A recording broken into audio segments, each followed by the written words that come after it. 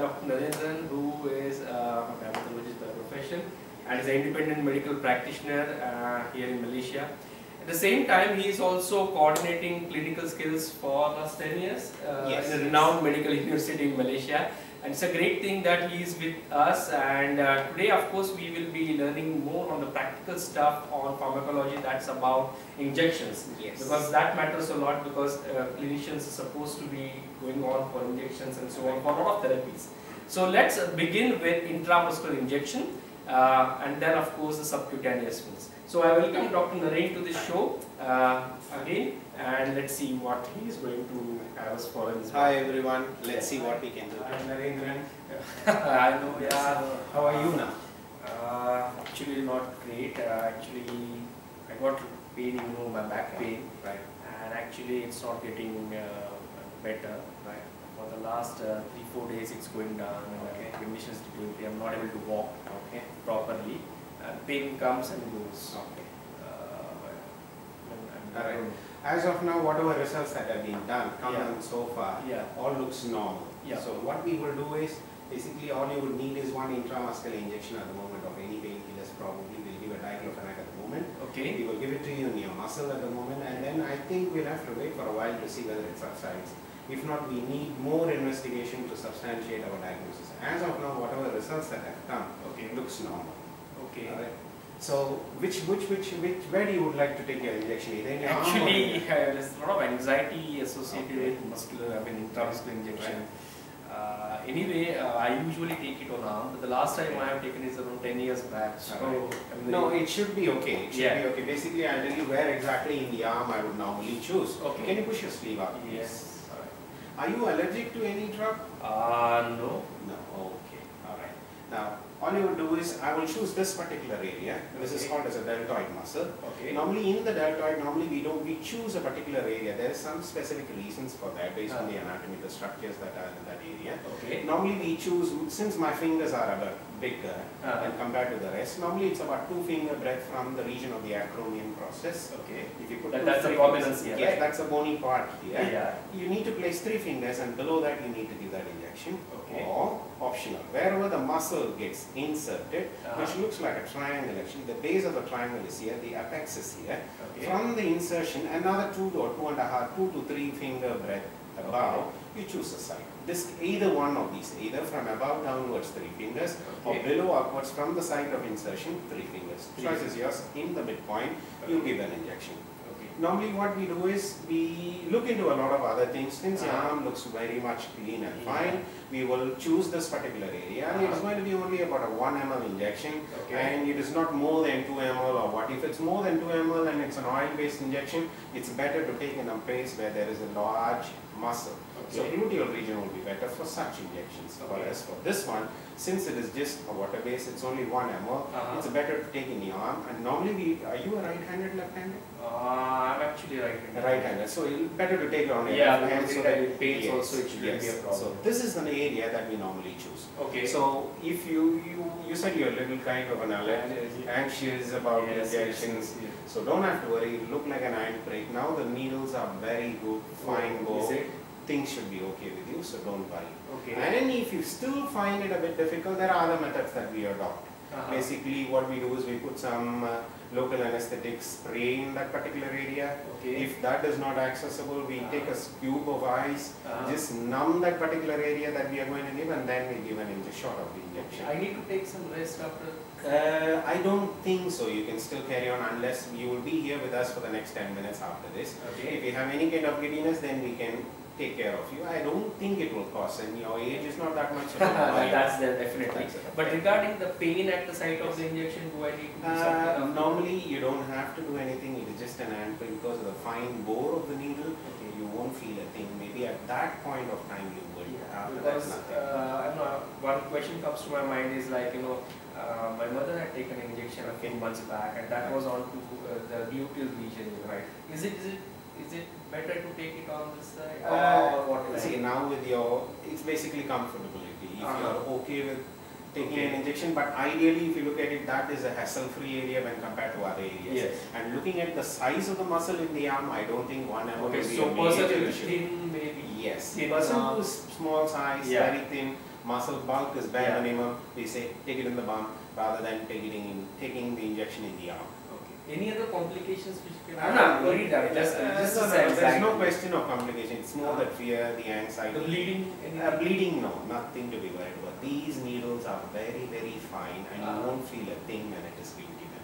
So Okay. don't have to worry. Okay. So Okay. I'll give you the So don't worry, Yeah. don't worry, thank you very much. Yeah. But one more time, are you allergic to any drug? Ah no. Okay, Till that's, now. that, that's better. I mean, So- I've taken injections like two, three times in my life till now, but at least till whatever I know, I'm not allergic to any injection. Good, good, good then. Anyway, Okay. let me load all the injection and come back to you. Yes. We'll give you the injection. Thank Okay, you. so don't Thank you, doctor. Thank you. Uh, doctor. Lie down for a while, we'll Yeah. be back. Uh, before you give any injection, the best thing that you need to do is the must thing, in fact. Before you do any injection, you need to go follow certain principles before you administer a drug, which is called right patient. Basically, when you approach the patient, talk to the patient, find out whether he is, he is the same person whom you are supposed to deliver the injection. Second, you need to look at the right drug as well. So what you need to do is flip through the pages of the prescription one more time prior delivering the injection to that particular individual. Take the drug, check whether the, that coincides with the name of the drug that is being prescribed and once that is identified, then you will have to know whether there are certain other things in the drug apart from the name that you have to look into. Now the next thing that you'll have to look into is the expiry date of the drug, then the volume of drug that is there within the container. Second, if it is in the form of a liquid or in a powder form, if it is in the powder you need to dilute it and then you will have to based on the dose that needs to be administered, you have to dilute accordingly as per the instruction. Now, next, what you need to do is, you, there are drugs that is available in the market either in two forms. One is in this kind of a bottle, the other will be in this kind of another bottle. So this is a large container, whereas this one is only for, this is a small container. This large container is what is called as a vial and this is called as an ampule. Vial, the advantage of vial is it is based on the name, it carries a prefix called as multi-dose vial. As the name goes by, multi-dose means it can be given for multiple patients and it can be reused till it is, till you approach the expiry date. But after every use, caution, after every use, this has to be maintained under a temperature at which the drug is stable. So it has to be refrigerated. So that is one of the important precaution that you need to do if it is a vial. Next one, if you look at it, this is a small glass container. This is a ampule. So we give another prefix for this ampule as well and we call it as single dose ampule. It has got a neck, it has got a, it has got a junction between a body and the upper portion. That junction is what is called as the neck and it is cracked in that particular area and drug is being taken into the syringe and it is being administered. And remember, it is only a single use and it cannot be used after that and you just draw the drug into the syringe, you deliver the drug, job is done. So these are the two containers in which a drug is available in the market. Just for revision purposes, this is a vial, multi-dose vial, whereas this one is an ampule and it is a single dose ampule. These are the two. You load the drug. Now, prior loading the drug, the one, if you're loading a drug from an ampule or a vial, normally, if, let us see how exactly would you do it if it's from an ampule. Now, I already mentioned, if you look at the ampule, there is a small yellow color line that runs across between the body of the ampule and the head end. Normally what they do is, you are supposed to take a gauze piece, prior to that, a small knife is taken and it is run across the line one single round, after which you need to take a gauze piece, wrap it around the head end of the ampule and move it in the opposite direction so that it cracks exactly on the line that has been already been made. Why do you don't break it towards you because chips of glass might hurt you. You break it away from yourself so that you do not hurt anybody. Once that is done, with the gauze piece and chips of glass that is there in your hand, you discard it into the dustbin and this is ready for use. One. Whereas if it is a vial, if it is a vial, it has got an aluminium covering that protects the rubber stopper there. And all you have to do is you need to peel off the aluminum which exposes the rubber stopper that you see within the aluminum. Now next you have to take an alcohol swab prior piercing the needle to take the drug into the syringe. Take an alcohol swab, clean that particular area, leave it to dry and then load the injection into the syringe. I hope you know how exactly it could be done when it comes to loading of drug from an vial, from a, let us see how do you load an injection from a vial first of all. Prior to that, you have, by looking at the principles of the drug, you have checked the name of the drug, you have checked the name of the dilution, checked the dilution in which it is marketed, then you take an alcohol swab, smear it on the surface of the bottle so that the rubber stopper is clean from impurities if any. Once that is done, you take a syringe and you take the respective IM needle which is about 23 gauge needle, fix it to the syringe, remove the cap and you're ready to go. Now, if you're supposed to deliver 1 ml of an injection, prior delivering it, you need to withdraw about 1 ml of air into the chamber of the syringe. Once that is done, take the needle. I'm a right-handed person, so I prefer to hold the needle in my right hand. I will take the amp vial which in which the drug has in which the drug is there in my least dominant hand. Then I will try to pierce the needle without through the rubber stopper into the vial and I can see the needle passing into the container as well from the glass bottle which is seen. Now once that is done I hold it upright so that the tip of the needle is not above the level of the fluid. Once that is done, I push the plunger so that the air which is inside the chamber of the needle goes into the vial. After which I release the plunger and you get to see because of the pressure automatically it gets loaded to the amount of air that I released in which is about 1 ml. Now the drug is already 1 ml that is being loaded. Once that is done, remove it and you are ready to go. Prior giving injection. One more thing that you look into, look for air bubbles.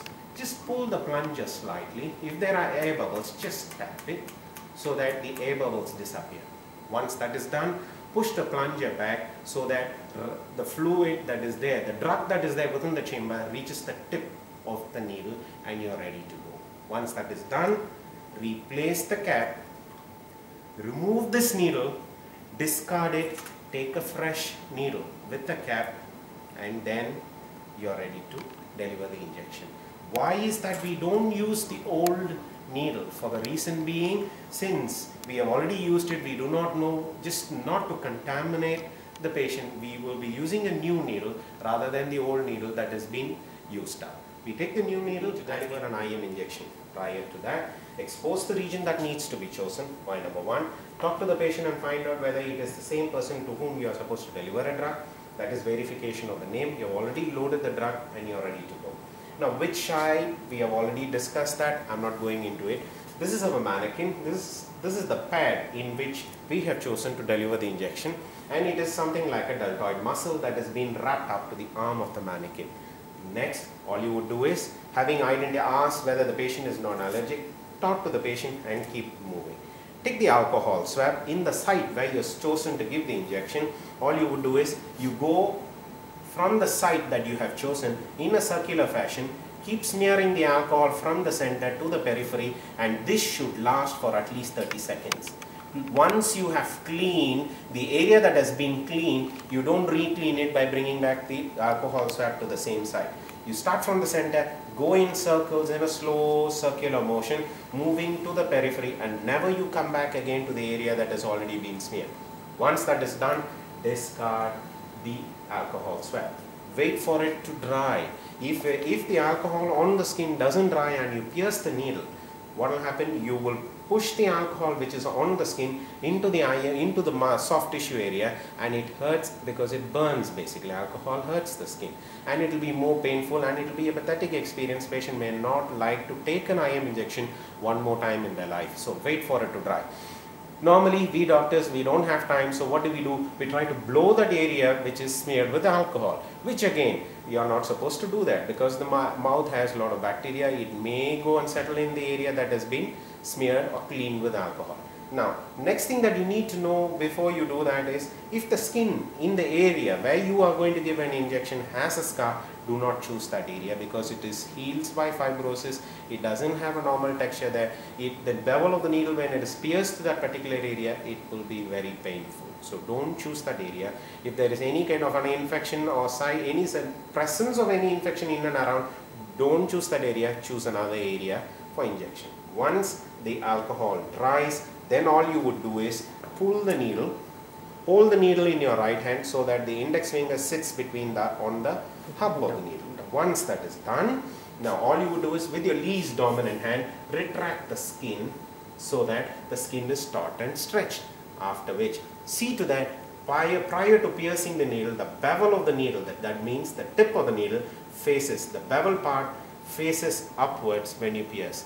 The angle that is normally chosen when you give an IM injection is 90 degrees. So remain in a way, place the needle and the syringe at a 90 degree angle and you keep reassuring the patient, talking to the patient, asking his name, distracting by talking to him, asking what he has eaten, something that he is pleasant to talk to. As you are discussing, taut the skin, 1 to 3, you can pierce the needle at a 90 degree angle. Once that is done, release the hand that stretches the skin, holding the needle straight. All you would do is pull the plunger and check whether the tip of the needle, whether there is any blood rushing into the chamber of the needle. Why?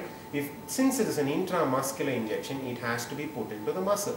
Rather than if you see blood rushing into the chamber, all you would do is pull back the needle, discard and redo the whole process all over again. Once Dr. Naren, can you just show the show the show the injection? Yes. Now. Yes. Yeah. Okay. Now what you will do is once you have seen that there is no blood in the, into the chamber, all you do is gently push the drug at a gradual pace till it is done. Now, once the drug has been delivered, all you would do is take a gauze piece, press it at the site where it has been delivered, pull the injection needle out and we are done. Next more important thing that you should remember is uh, just press at that particular site, hold it for a few seconds, don't go and massage that area and disturb the drug that is being delivered at that particular site. Ask the patient to support, if you can't hold it for a few seconds, get the patient to hold that particular gauze piece for a period of time that is about 30-40 seconds or even 1 minute maximum. Once that is done, they can discard it and they are ready to go. Last one, if you want to be safer again, take a small round plaster, put it the, on the side of an injection and cover it so that it is not exposed to external environment. And you can avoid injection as well. So this is always have to remember is if you are delivering an IM injection, there are some complications that you can expect of caution the patient. What do you tell them? And if the patient has got a huge lump kind of thing appearing after about 24 hours after the injection has been delivered or even before that, it means one of it is an important thing that you need to note. That is one of the complications that can occur which is called an injection abscess. If that happens, you need to treat the patient accordingly. That is whatever that needs to be done, you need to do it. Next, if you want to avoid an abscess, if you take all the precautions that is being told of, like positioning, positioning the bevel of the needle facing up, maintaining absolute sterility throughout the process, you will not face anything. And moreover, if the skin has been cleaned well with an alcohol, you will not face that complication as well. Next one, if, the, if by any chance the patient says, I don't want to take a muscle injection in the gluteal region and the volume of injection that needs to be given is slightly more, and you still try because of the you you you you go with the patient and you say okay it can be taken in the deltoid? You deliver that particular injection. Things can happen one once more time one one thing that it can happen would be is the hematoma. Second all you will have is an injection abscess in that particular area as well. And the other thing that it can do it can happen again nerve injury or structures vital structural injury deeper in the deeper area of that particular muscle. Normally, normally if you happen to be choosing the right needle, if you happen to choose the right area, based on the volume of drug and the type of drug that you have chosen, I don't think you will encounter any such problems. These are the things that you need to have in your mind and you